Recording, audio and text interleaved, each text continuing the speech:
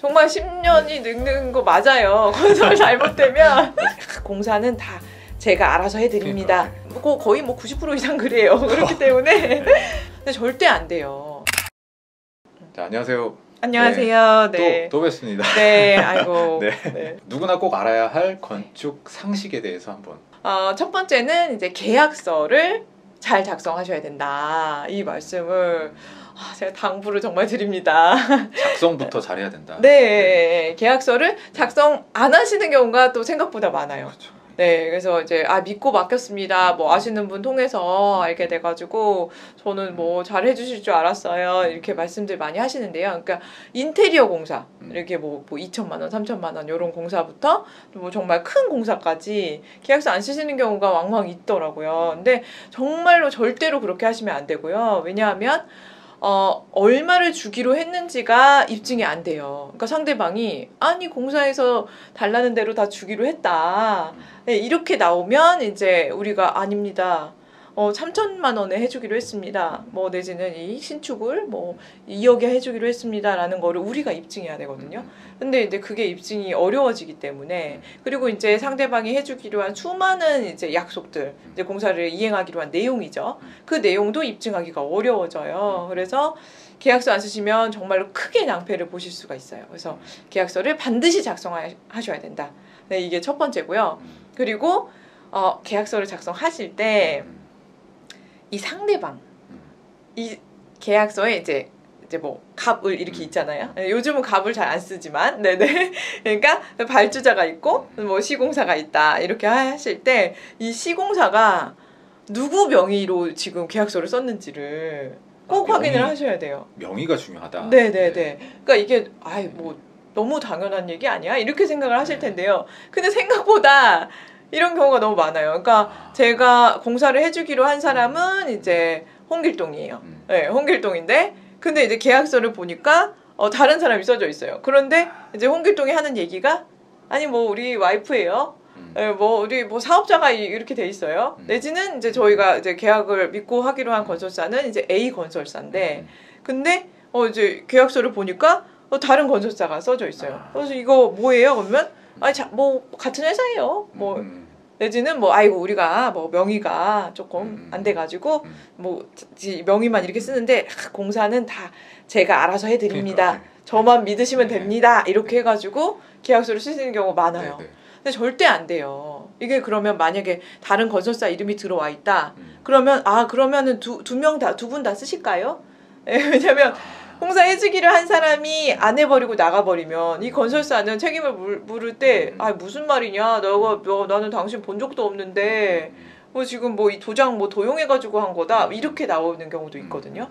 그래서 아 그러세요. 그러면은 아 두 분 다 쓰시죠. 음. 건설사도 쓰시고 음. 이제 뭐 홍길동 님도 쓰시고 그래서 이름 뭐 주소 뭐 이렇게 다 해가지고 뭐 사업자 있으시죠? 뭐 해가지고 그럼 이제 둘 다한테 책임을 물을 수가 있거든요. 근데 네, 근데 계약 명의를 자기 이름으로 안 한다. 이거는 일단 어떤 의미냐면요. 음. 공사를 제대로 안 하고 도망가고 이 책임은 다른 사람한테 떠밀려고 음. 뭐 거의 뭐 90% 이상 그래요. 그렇기 때문에 그렇기 때문에 이 명의자를. 잘 보셔야 된다. 그리고 부동산 네.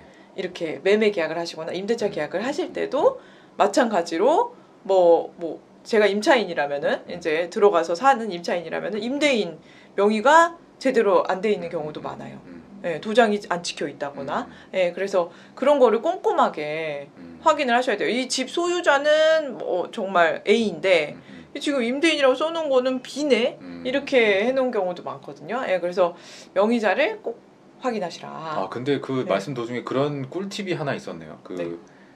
임, 그러니까 명의자를 제대로 확인하지 못할 때는 네, 일단 다 받아놔라. 그 사람들 까지 네, 같이 네, 계약서에 네. 넣어서 네, 뭐 사인이든 도장이든 받아놔라. 네, 아, 그렇게 무조건. 그렇게 해두면 혹시 명의가 헷갈리더라도 네, 다 책임을 물을 수 있다. 네, 매 책임을 물을 수 있죠. 왜냐면 계약의 당사자거든요. 음. 명백하게 계약의 당사자거든요. 음. 근데 뭐 사업자도 없- 뭐 사업자 등록증도 없어요. 막 이렇게 하신다면은 아 그럼 신분증 사본이라도 뒤에 붙이시죠. 음. 이렇게 해가지고 다 받아 놓으시는 게 자필로 이렇게 해가지고 두 번째 꼭 알아야 할 상식이 있을까요? 네.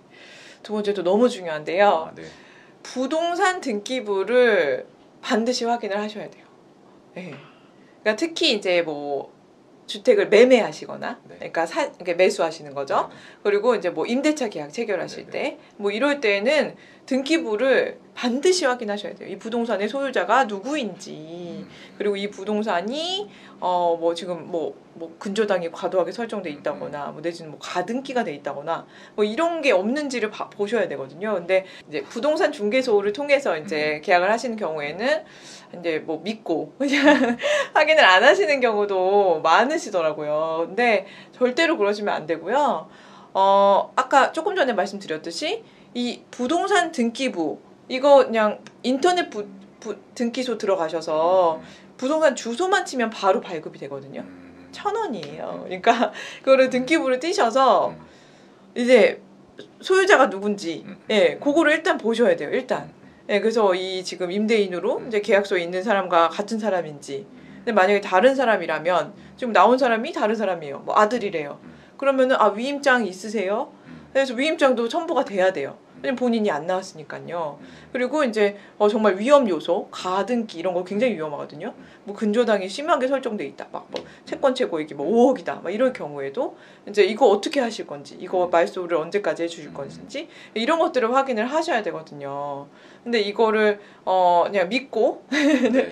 안 하시다가 이제 나중에 이제 네. 크게 낭패를 보시는 경우가 굉장히 많아요. 그리고 아 이제 건설사와 이제 공사 계약을 체결하실 때도 이 계약의 상대방 음. 건설사의 법인 등기부 등본 음. 네, 등기사항 정부 증명서 이, 이것이 인터넷 등기소에서 또 발급이 됩니다. 그래서 법인 등기부도 발급을 해서 지금 나랑 계약을 체결하러 나온 사람이 여기에 지금 뭐 이사인지 등기된 이사인지 대표이사인지 뭐 이런 것들을 한번 확인해 보시는 것이 꼭 필요하다. 이게 별거 아닌 것 같지만 네. 나중에 몰랐어요 하면 법원에서 법원에서는 이래요. 아니 부동산 매매하면서 몰랐다는 게 말이 되냐 이렇게 생각을 하거든요. 아니 근데 말씀은 되게 좋으신데 네, 네, 일반 사람들 저 같은 경우에는 네, 네. 아 이거 무슨 내용인지 굉장히 어렵잖아요. 어디가 뭐 네. 갑군이 뭐 을, 이게 그렇죠, 뭐예요? 그렇죠. 이렇게 네, 네. 이럴 때는 어떡하죠? 그럴 때는 이제 부동산 등기부 보는 방법을 네, 또 네. 제가 알려드려야 되는데 네. 그거 이제 일일이 뭐 설명하려면 이제 가등기가 뭔지 등, 네. 근저당이 뭔지 이런 거 네. 설명을 드려야 되거든요. 그러니까 우리가 단순히 직관적으로 볼 수 있는 거. 바로 소유자. 음. 네, 그래서 소유권 이전 이렇게 이렇게 이렇게 찍 이렇게 줄이 쳐진 거는 음. 말소된 거예요. 이거는 이제 없어진 거니까 그건 신경 안 쓰셔도 되고요. 깨끗한 글씨로 소유권 이전 등기 해가지고 몇 월 며칠 음. 매매 음. 누구 소유자 누구 이렇게 써져 있어요. 소유자 홍길동 그 그거는 보실 수 있잖아요. 음. 그러니까 이 부동산이 적어도 누구 건지 그리고 이 소유자가 지금 나와서 계약을 하고 있는지 아니면 다른 사람이라면 어떤 관계인지 네 그거는 이제 최- 반드시 확인을 하시고 최소한 그거라도 꼭 네 최소한. 그거라도 그리고 이제 갑구 을구는 모르셔도 근데 뒷장을 이제 넘겨 보시면 음. 가등기 이런 단어가 있다 무조건 안 돼요 가등기를 무조건 무조건. 네, 네, 네. 가등기는 네. 어, 뭐 간단하게만 설명드리면 네. 이 가등기권자가 하시라도 네. 언제라도 이 소유권을 가져가 버릴 수 있는 권리예요. 음. 네, 그렇기 때문에 이 가등기가 있는데 음. 몰랐어요 하고 그 계약을 체결해서 돈을 주셨다 음. 아무 의미가 없어요. 보호가 안 돼요. 음. 부동산 등기부에 있는데 왜 몰랐니? 이렇게 하기 음. 때문에 그래서 이 가등기 있으면 무조건 이제 어, 매매하시면 안 되고 그리고 어떻게 해결할 건지 빨리 말소해 달라. 말소가 된 다음에 이제 계약을 하시는 게 좋겠고요. 근저당권도 이제 너무 이제 금액이 크고 이러면 당연히 이제 매매가 될 때는 이제 말소가 돼야 돼요. 그러니까 어떻게 하실 거예요? 이런 거를 좀 이제 물어보시면 되고요. 예, 그리고 이제 임대차다. 그럴 경우에는 네, 가등기 무조건 안 되고요. 음. 근저당권 너 과도하게 설정돼 있다 그러면 임대차 보증금 나중에 다 회수가 안 될 수가 있어요. 그렇기 때문에 이거 근저당권 이렇게 심하게 설정돼 있는데 음. 저희 안전한가요? 음. 음. 뭐 어떻게 해주실 건가요? 이거를 확인을 예, 확인을 반드시 하셔야 된다. 세 번째는 어떤 게 있을까요? 네, 네, 이 변호사로서 네. 안할 수가 없는, 네, 네. 안 드릴 수가 없는 말씀. 네. 돈을 요거 돈을 꼭 네. 이행이 된 다음에 주시라. 아. 예. 그러니까 미리 주셔가지고 낭패 보시는 경우를 이제 저는 너무 많이 음. 보잖아요. 예, 그러니까. 그렇죠. 그냥 믿고 주기도 하잖아요. 먼저. 네, 네, 네, 네, 맞아요. 네. 이제 부동산 뭐 매매도 네. 그렇, 그렇지만 네. 이제 특히 이제 건설, 네. 네, 건축을 이제 맡기셨을 때 음. 이제 공사 업체 분들이 아이고 어려우니까 좀 어, 그렇죠. 주세요. 흔하지 않. 네네 너무 흔해요. 네, 네. 그래서 공사가 30% 진행됐는데 네. 공 대금이 80% 90% 나가고 이런 경우도 많아요. 근데 너무 이제 선량하셔서 음. 네, 너무 마음이 좋으셔가지고 그렇죠. 그렇게 주시는 네. 경우가 이제 달라는 대로 저희는 이제 잘해달라고 음. 그렇게 줬습니다. 그렇게 말씀하시는 경우가 너무 많거든요. 음. 근데 이제 저는 이제 너무 이제 분쟁을 많이 음. 보다 보니까 이제 말을 믿지 마라. 말을 믿지 마세요. 항상 이런 말씀을 많이 드리거든요. 근데 어 잘해 주게 주겠다 이런 말은 이제 말이 아니라 이제 이행이 돼야 되잖아요. 내가 곧 갚을게. 음.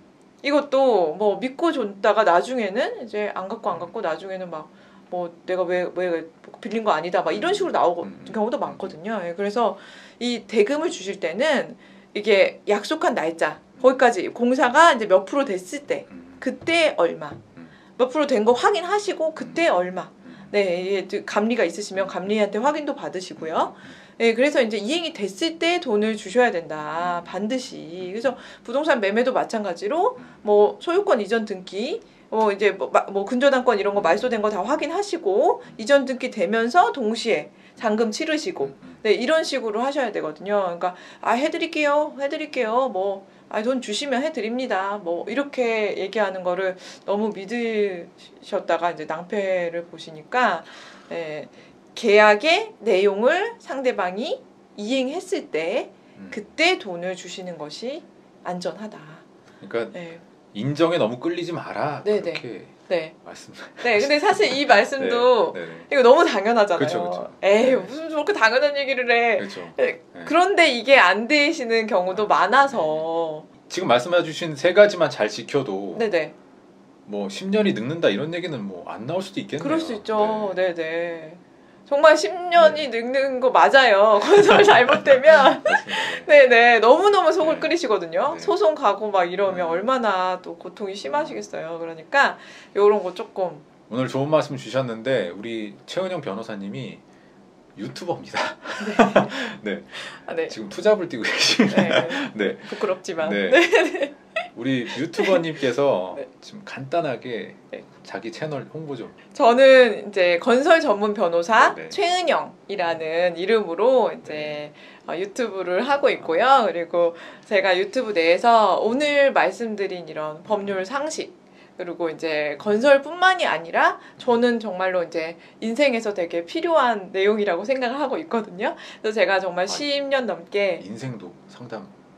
아니요 인생을 상담드리진 않지만 네. 인생에서 아. 꼭 도움이 되는 요긴한 아. 법률을 네 이제 제 노하우나 이제 제 경험을 이제 다 녹여가지고 거기에서 이제 조금씩 말씀을 드리고 있어요. 그래서 여러분들 뭐 필요하시면 오셔가지고 댓글이나 이런 걸로 문의해 주시면 네, 네, 제가 충분히, 네. 네, 네, 네. 제가 정성껏 답변도 드리고 네, 네. 상담도 해드리니까요.